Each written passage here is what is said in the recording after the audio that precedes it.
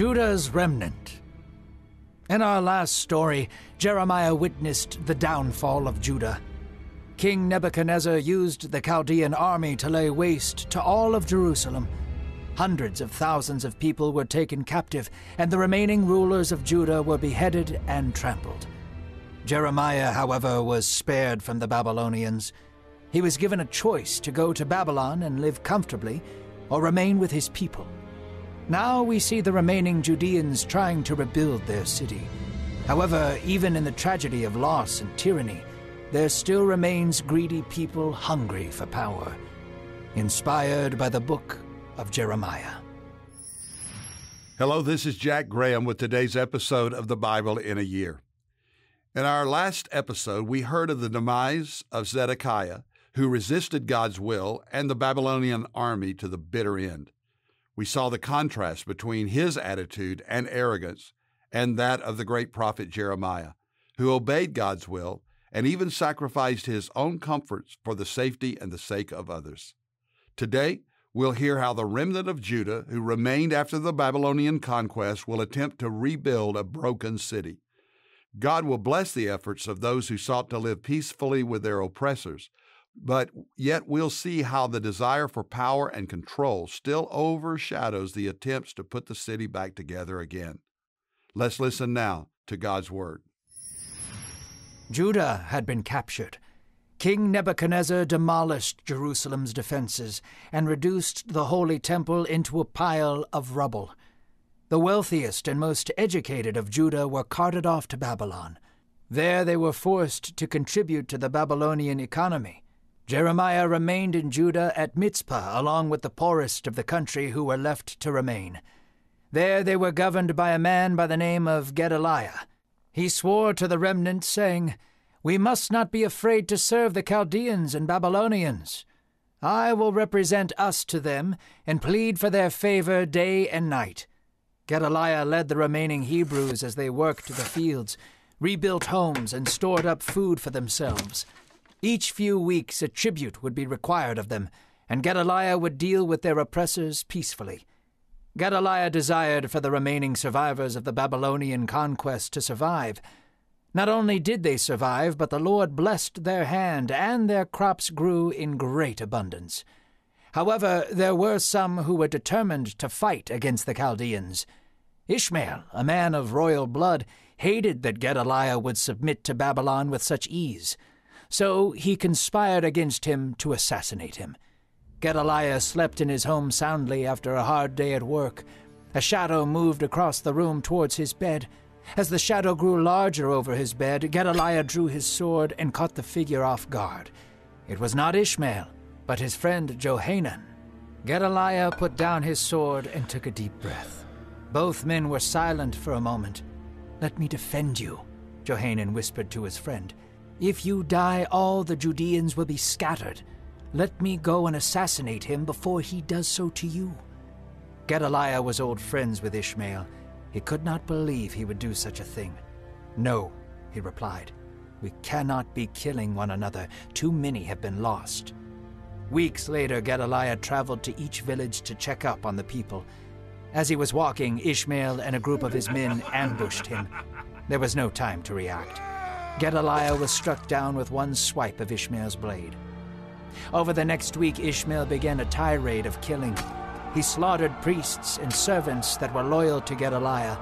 All those he did not kill, he took captive, and Ishmael assumed governance of the Judean remnant. However, Johanan would not allow his friend's death to go unpunished. He rallied the leaders of the remaining forces and marched against Ishmael. There at the pool of Gibeon, Johanan led a rescue mission to save Ishmael's captives. Johanan fought with the rage of a man who had just lost his friend. He wept as he swung his sword. Eventually, he backed Ishmael into a corner and the captives were released. However, Ishmael and eight of his men escaped to the Ammonites. Johanan knew that punishment awaited the remnant, since Gedaliah had been killed. So he gathered the remaining women and children and fled to Egypt to seek refuge. As Johanan and his people were making plans to leave, Jeremiah stopped them. He stood before the people and begged them not to go. He knew that only slavery awaited them in Egypt. The Lord has blessed our work here thus far. Our crops are steady, and our relationship with Babylon is mending. Do not leave, Jeremiah implored. But the people were still unsteady. They began to clamor and grumble. Jeremiah lifted his voice for all to hear and said, If you leave, famine and sword will follow you. The Lord desires for this remnant to build Jerusalem back to its former glory. Fear not, for there are great things ahead. As Jeremiah was speaking, Johanan's fist blew through his jaw. He fell to the floor. Disoriented, he looked to see Johanan's angry and worried face. You are a liar, Johanan spat. You are a tool of the Chaldeans and Babylonians, nothing more. So Johanan bound Jeremiah up and took him and the rest of the people out of Judah towards Egypt. Little did they know that the Lord had set in motion plans for Nebuchadnezzar to overtake Egypt as well. There would be no escaping God's will. In today's reading, Judah has been decimated by Babylonian forces. Most of the Judeans who were left alive were taken to Babylon as captives. The wealthiest were to integrate into Babylonian society and contribute to the nation's economy. But there was a remnant, the poorest population of Judah, left in their land to rebuild. And Jeremiah, the great prophet of God, remained as well. The Babylonians allowed a Judean to rule the people and ensure that they served Babylon and paid tribute when it was required. This duty was given to a man named Gedaliah, he was wise and wanted to see Judah rebuild and experience relative peace despite their terrible condition. So he resolved to deal peaceably with the Babylonians and the Chaldeans, making the best of a bad situation. Jeremiah was there to support him. God blessed the efforts of those who remained, and the land prospered. It was a glimmer of hope for Judah, a sign that God was still with them. But there were those who opposed Gedaliah and hated the foreign invaders. They didn't want to keep the peace, but continued to war against Nebuchadnezzar just as foolishly as Zedekiah had done. One such person was Ishmael, and he planned to kill Gedaliah and seize power. One night, Gedaliah was surprised in his room by a man he thought was there to kill him, but he was ready with his sword. As it turned out, however, it was a friend by the name of Johanan. Johanan cared a great deal for Gedaliah and did not want to see him fall to Ishmael. So he suggested they strike first, killing Ishmael before he could get to Gedaliah. Here we have two men, Gedaliah and Johanan, who both want the same thing, but have different approaches. Johanan is quick to turn the violence to defeat opposition from within. But Gedaliah wisely knows that if they begin war with each other, killing those who oppose them, Judah would be far worse off. So he lets Ishmael live. It was an honorable choice, but it didn't work out, as one day Gedaliah was ambushed and killed by Ishmael. Now Judah was under the leadership of a very cruel man who quickly went about killing those who opposed him, including priests and servants who had shown loyalty to Gedaliah. Johanan will not stand for this, and once more he responds in anger with more violence. He attacks Ishmael's men and nearly defeated him, but Ishmael escaped at the last moment. Knowing there would be retribution for his attempt, Johanan gathers women, children, and all those not following Ishmael, making plans to flee to Egypt. It's an understandable impulse, but Johanan wants to know it is the right one, so he inquired of Jeremiah. The prophet goes to the Lord for guidance, and we hear God's response in Jeremiah 42 verses 11 and 12. Do not fear the king of Babylon, of whom you are afraid. Do not fear him, declares the Lord, for I am with you to save you and deliver you from his hand.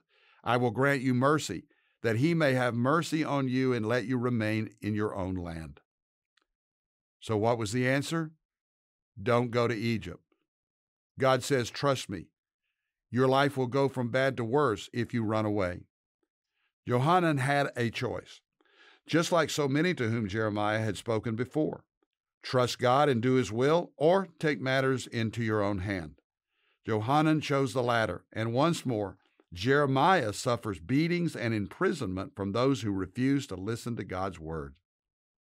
The people fled to Egypt, not knowing that soon that land too would fall to Babylon. If only, if only they had obeyed God and trusted Him, life would have been so much different. It's so important that we learn from mistakes, including the mistakes of others. And we always must remember and reflect daily on the fact that God can be trusted, that His Word is sovereign and secure and supernatural, and that our future is secure because we live with the promises of God. And it is always right to run to the will of God and never away from the will of God. Dear God, we always thank you for the scripture, which teaches us how to live our lives. We know that even when things seem lost, you are faithful and you preserve a remnant, a people for your glory. Help us always to listen to your counsel, wise counsel that comes from you, to seek peace rather than war, and that we would trust you for your provision for our every need. In Christ's name, amen. Thank you for listening to today's Bible in a Year podcast. We are so glad that you have joined us. I'm Pastor Jack Graham from Dallas, Texas. You can download the Pray.com app and join millions of people who are listening daily to the Bible in a year. I want to encourage you to make prayer and Bible study a priority in your life, that you would seek first the kingdom of God and His righteousness. If you enjoy this broadcast, let me encourage you to share it with others, people that you love, people that you know, people in your church, because we believe the Word of God makes an eternal difference in people's lives.